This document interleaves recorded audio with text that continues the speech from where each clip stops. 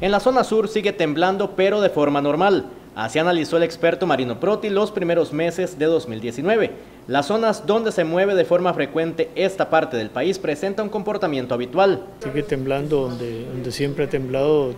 Tenemos sismos constantes a lo largo de la zona de fracturas de Panamá, al sur y por debajo de la península de Urica, eh, actividad en, bajo la península de Osa y los sismos de toda la vida del Pacífico Central, esta región entre Dominical y, y la entrada al Golfo de Nicoya, que, que prácticamente está con actividad constante.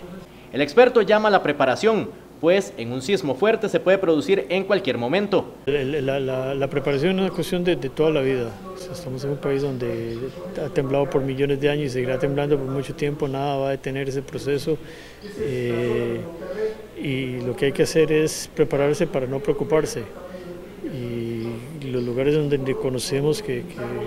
que eventualmente ocurrir un terremoto no necesariamente significa que sean donde va a ocurrir el próximo terremoto en Costa Rica, puede ocurrir en otros lugares donde no conocemos también el proceso y nos pueda sorprender,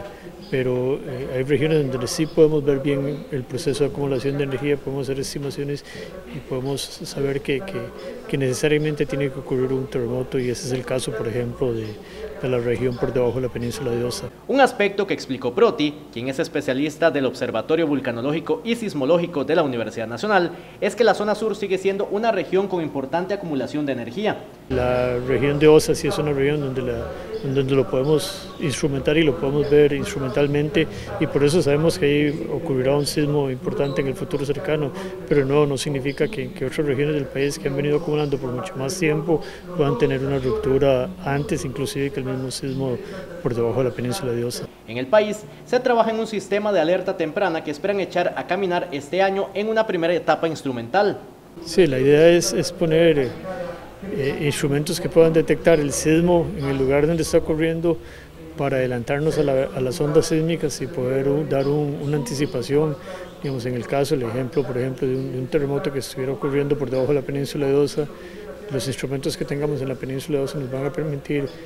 registrarlo ahí, determinar que es un sismo grande y que está creciendo y poder alertar por ejemplo a Pérez Celedón en, en 10, 10 segundos antes de que, de que, lleguen las ondas sísmicas y el Valle Central quizás unos 20 segundos antes del arribo de las ondas sísmicas.